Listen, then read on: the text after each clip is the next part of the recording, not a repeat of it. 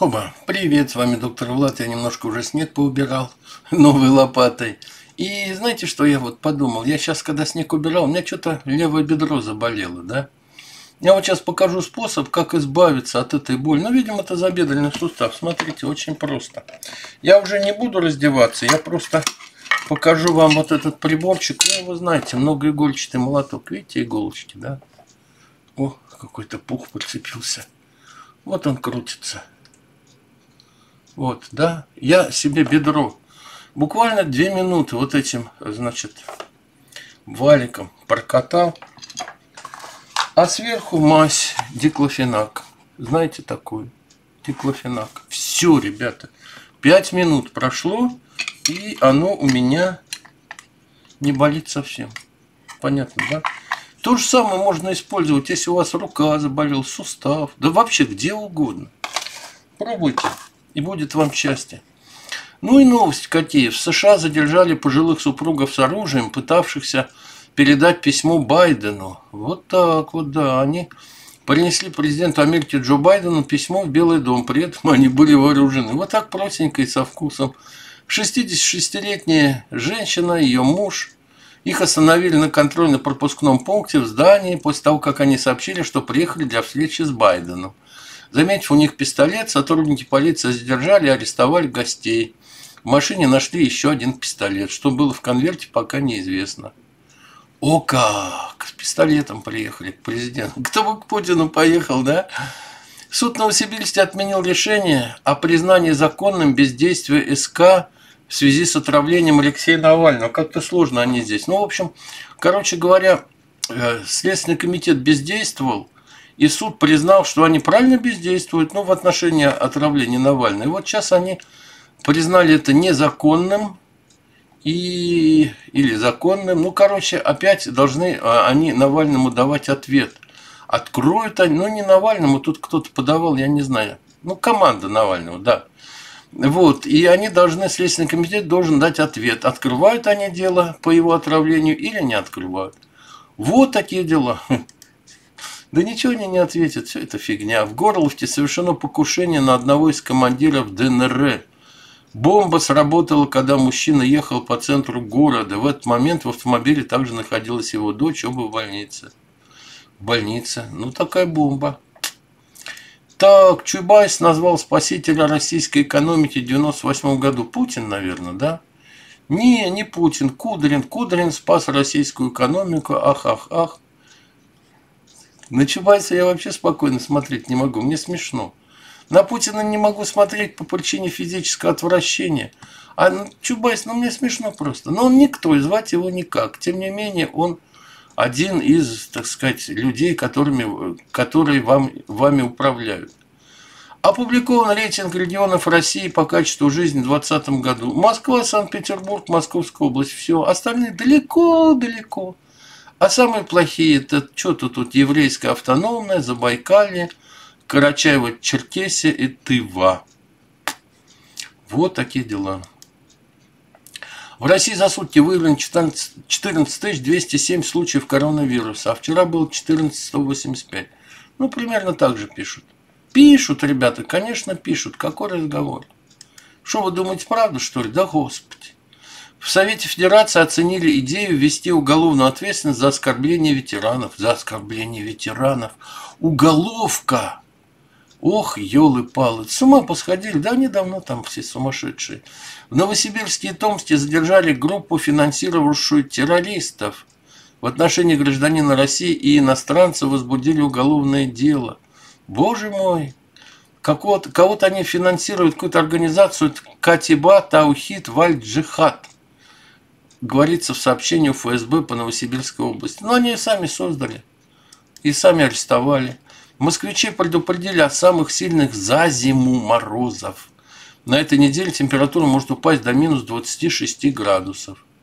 Вот так, ребята, там что в Москве-то? Опять, опять туман будет у Владимира ночевать. Подо льдом Антарктиды нашли загадочные живые организмы. Да, какой-то сперматозоид нарисован, только красивый. Что-то нашли, да, между морским дном и шельфовым ледником какие-то неопознанные существа. Но они маленькие, это не эти. Это не те, которые зеленые человечки. Зеленые человечки все вон в Донбассе.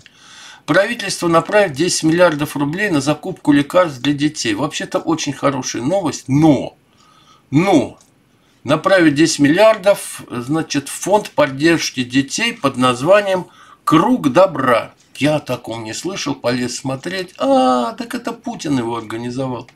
Круг добра. То есть деньги поступают и уходят, входят и выходят. А детям больным, да, пускай умирают. Да, ребят, я серьезно говорю. Авиапро пишет, одного полного залпа ракетами «Циркон» хватит на четыре авианосных группы США. Ну так вот этот «Циркон», он, он есть в мультике, больше его нигде нету. Нигде его нету, ребята. На сегодняшний день гиперзвуковым э, вооружением в мире владеют лишь Россия и Китай. А попытки США приблизиться хотя бы к созданию прототипа пока что не увенчались успехом. Да, ну вы знаете, все умы, все ученые из США едут в Россию, там работают, хорошо живут, да. Какая чушь вот это все, а? Россиянам объяснили рост цен на продукт, объяснили цены на продукты будут повышаться. Понятно вам? Ну вот это такое объяснение. Билл Гейтс считает, что последствия изменения климата будут намного хуже, чем пандемии. Ой, господи, чем только не пугают, а и климат меняется, и пандемия, и еще какая-то эбола.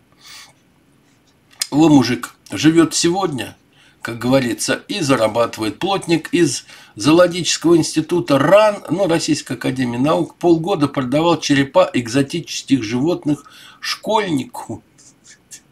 Из лаборатории зооинститута РАН в Санкт-Петербурге пропали 50 черепов древних экзотических животных. Так, им оказался подозреваемый, оказался ранее судимый мужчина, работавший в институте плотником – и он продавал их, да, вот кому, школьнику какому-то.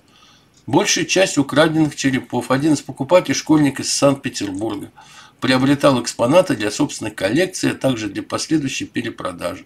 Согласно экспертной оценке, стоимость похищенного составила 3,5 миллиона рублей. А он эти черепушки продавал от 2 до 5 тысяч. Нормалек, да, и никто не видел. А ты не знаешь, Почему в провинциальной России врачей нет и не будет? Статья. Ну почему? Ну потому что никто не едет. А что там делать? Ну я работал в деревне врачом. Ну там, там же скукотища.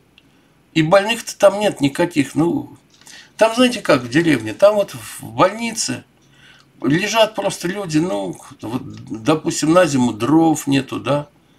И ну вот кое-как в больнице перебиться, а потом весной уже назад – больных нормальных увозят в районку, да, а в деревне, в больнице, ну вот в провинциальной России, да, в деревне, в больнице, ну кто там лежит? Бабушки, старушки, а больше никто. Ну кому в здравом уме, значит, э, придет в голову идти в больницу и ложиться там, когда огород, корова. Ну ладно, вы это все знаете без меня. Под землю ушел даже столб. Огромный карстовый провал образовался в Нижегородской области. Да, яма, да, огромный пласт почвы рухнул вниз на глубину 5 метров. Боже мой, деревня Бабасова Павловского района. К счастью, туда никто не упал, но дом рядом здесь, и дом упадет тоже. Ох-охо. Даже уже Россия проваливается под землю. В Энгельском подъезде 23-летний насильник набросился на возвращавшуюся с работы женщину. Я вам подробности рассказывать не буду, но меня знаете, что удивило? Энгельс – это ну, через, через Волгу от Саратова, да, небольшой городок. Энгельс, ну как небольшой, ну при мне было 300 тысяч примерно, все более-менее, да. Я что хочу сказать, вот здесь вот такая фраза меня удивила – Оказавшись на лестничной площадке, злоумышленник применил к покровчанке физическую силу. Покровчанка. Раньше был город Покровск, потом назвали Индельс. И что сейчас получается? В Энгельсе живут покровчане и покровчанки. И это как-то непонятно, ребята, мне. Поясните, если кто там из Саратова-то есть. Что это там придумали-то еще? Так, ладно, районная больница в Белгородской области выплатит 300 тысяч рублей за смерть пациента. Женщину, да, погубили. Сделали операцию без проведения медицинских исследований, а она, оказывается, гинекологическую операцию сделали, а у нее, оказывается, рак был. И, в общем, да, а позднее выявление онкологии, еще вот эта операция ненужная, практически ненужная была. Вот, подумали, что одно оказалось рак, а рак выяснили позже. Ну, в общем, 300 тысяч ему взыскали с больницы.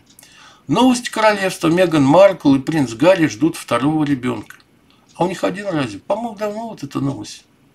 Новое пополнение в королевской семье появилось в прессе День Святого Валентина. Так, мы можем подтвердить, что Арчи будет старшим братом, герцог и герцогиня Сосекски с радостью ожидают своего второго ребенка. Да ну хорошо, пускай.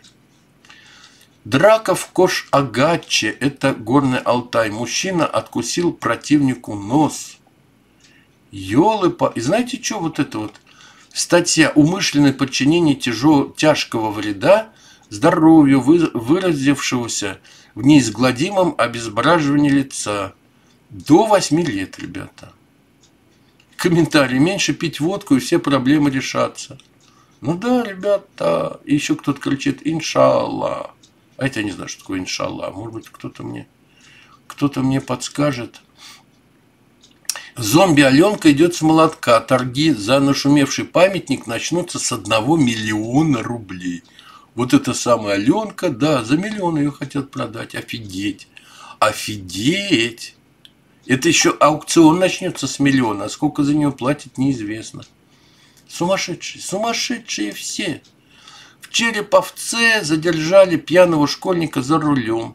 Пацану 13 лет, рядом друг, и водка у них там в машине была, и, в общем, кое-как задержали. Нормалек, что? Еще раз скажу. Машина мамина. А вот глава МИД Перу ушла в отставку из-за вакцинации от коронавируса вне очереди. Вот она где-то там завакцинировалась, а ее бах, выяснили, что и уходит, уходит глава МИД. Надо лошадь, что ли, как-нибудь вакцинировать. А другого дадут. Так, 10 генералов решили уволиться из, из Росгвардии. 10 генералов подали рапорты об увольнении Росгвардии. А зачем? Почему? Что-то как-то странно, да, ребят? Вот так вот в один день пишут, да?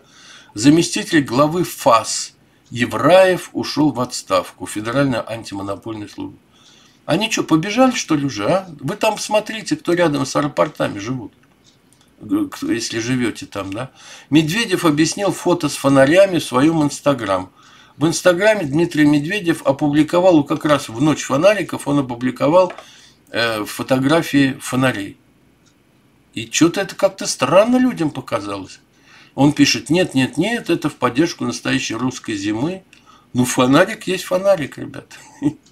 Странно. Познер назвал самого неприятного гостя своей передачи. И знаете, это кто? И знаете, это кто? Это... Вот морда-то знакомая. Яровая Ирина Анатольевна, вице-спикер Госдумы, автор множества резонансных законопроектов, но он с Госдумой теперь переругается, да. Это, говорит, вообще, говорит, кошмар был. Да, угу. Хорошо. И еще опять про кошмары, но это уже Твиттер. На свете нет никого омерзительнее Маргариты Симоньян. И вот она твитнула здесь у себя. Маргарита Симоньян в День Святого Валентина 235 девушек выстроились шеренгой в поддержку улетевшей в Германию Навальной. У остальных есть мужики. Да, и у тебя тоже есть мужик, только на него без слез не взглянешь. Мама позвонила рассказать, что сегодня впервые вышла проявить свою гражданскую позицию одна с фонариком во дворе в нашем маленьком родном гор- городке Бронницы. Горжусь мамулей. Ну, молодец какая. Пришли счета за январь. Мне повысили пенсию на 800 рублей. Коммуналка подорожала в среднем на 700, электричество на 100. Где моя прибавка? Про продукты и все остальное вообще молчу. Да, ребята, да. Про продукты я в шоке. Никогда не смотрела. 70 или 80 рублей рис, гречка. Тут нужно было купить рис. Рис намного больше 100. Разный. Гречка около 100. и еще дальше. Это все Байден не успел вступить в должность, сразу бросился ценники переписывать в магнитах и пятерочках. Вот так вот. Во Франции провальна вакцинация. В России вакцинация идет полным ходом. Это Путин, да, говорит. Россия справилась лучше всех, а в ЕС и Штатах вообще полный развал. И вот смотрите, тем временем кто-то посчитал количество доз вакцины на 100 человек. В Израиле 72, в Объединенных Арабских Эмиратах 50, Южной Корее 22, США 15. Маловато что-то. Франция 4,1, Бразилия 2,4, Россия 0,6 доз вакцины на 100 человек. Вот так. Дальше. Наш президент не может врать, он просто не знает. Так, как способный мальчик так быстро плохому научился? Знакомьтесь, это Сережа, он депутат Госдумы от партии «Ядро» и сын артиста Миши Боярского. Сережа предложил штрафовать народ за неугодные для властей посты в соцсетях на 5 миллионов рублей. Молодец. Семейство Боярских, ублюдки все до одного. Ой, Михаил, дебеленыш Сережа, без, бесталанная Лиза. Да. Да вообще-то правда. У меня во дворе больше 10 человек с фонариками. Вообще это очень крутое ощущение осознать, что рядом живут единомышленники. М-м-м. Да маловато, ребят. Если Россией управляют западные кукловоды, то зачем вообще Путин тогда нужен? Угу. Так оно и есть. В моем дворе фонарики зажгли 15 человек. Мы на лютом морозе проговорили 40 минут о политике и будущем России.